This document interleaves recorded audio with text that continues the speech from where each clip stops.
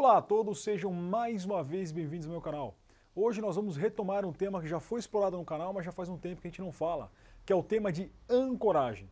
Nosso primeiro vídeo falava de ancoragem equalizável e agora nós vamos fazer um vídeo falando de ancoragem equalizada. Então, vamos lá!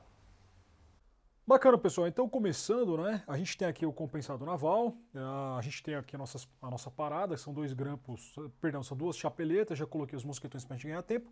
E a ancoragem equalizada, ela começa da mesma maneira que a ancoragem equalizável. Né? Então, eu já passei os mosquetões, já dei o tombo neles e agora eu vou passar a fita, né? Então, aqui a gente está com a fita. Ó, passei a fita. Passei a fita. Vou fazer aqui o ajuste da costura eletrônica, né? Ó, vocês podem ver que a costura eletrônica, ela está aqui, ó. Né? Ela está bem próxima aqui do mosquetão. Não vou nem travar, né? Só para a gente ganhar tempo. E aí, qual que é a diferença? A diferença aqui na, a, na ancoragem, na parada equalizável, eu simplesmente daria uma volta aqui num desses dois tramos e entraria com o mosquetão, certo? Aqui, ao invés de a gente fazer isso, nós vamos o quê?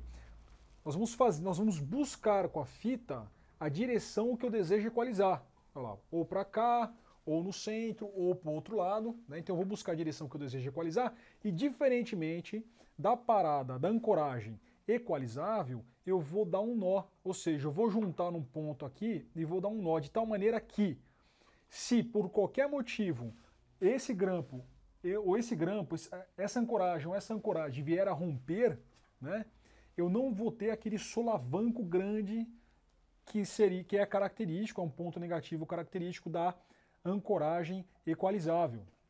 Né? Então, a, qual que é o ponto negativo dessa? Que depois que eu dou um nó, eu, não, eu perco essa capacidade de, de, de, ter uma ancoragem equalizável. Ela vai estar equalizada na direção que eu desejo. Né? Então, se eu quero colocar para cá, imagina que o, o, participante, né, o escalador participante, ele está subindo por um platô mais aqui pela, pela esquerda.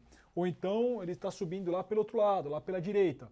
Então eu vou equalizar essa, essa ancoragem, essa parada naquela direção e ponto, acabou. A grande vantagem é que se eu estou numa parada, numa ancoragem que ela me é suspeita por qualquer motivo, uma ancoragem móvel ou algo parecido, eu não vou ter aquele solavanco que de repente poderia arrancar toda a minha parada da parede. Então aqui eu vou colocar, vou deixar aqui no centro mesmo, tá? Venho aqui nesse ponto e finalizo com um nó. Qual o nó? A azelha, um nó simples, né? É, posso fazer oito? Pode, mas assim, pense que você vai estar tá usando fita, você vai estar tá usando o curdim ah, que você tinha destinado para essa parada. Aqui eu estou com dois pontos, né? mas imagina que eu tenho três, quatro. Eu vou estar tá usando bastante cordim para fazer essa parada aí, né?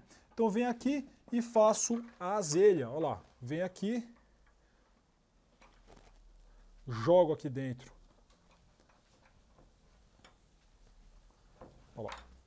Faço aqui a minha azelha certo? E aí vocês perceberam que eu tenho aqui duas partes de fita, né? Então eu venho aqui e aí aqui sim, na, nas duas partes da fita, eu jogo aqui o meu mosquetão mestre. Percebam que aqui ó, ela está tá, é, equalizada né, para baixo. Se eu vir para cá, ó, chega num ponto que ela sai da equalização, né? Aqui ficou frouxo, ó. E da mesma maneira, se eu for para outro lado, vai chegar num ponto que eu saio da equalização.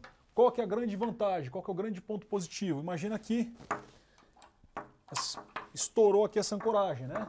Ó, então ela está aqui equalizada, estourou a ancoragem, olha lá. O solavanco vai ser muito menor, ok?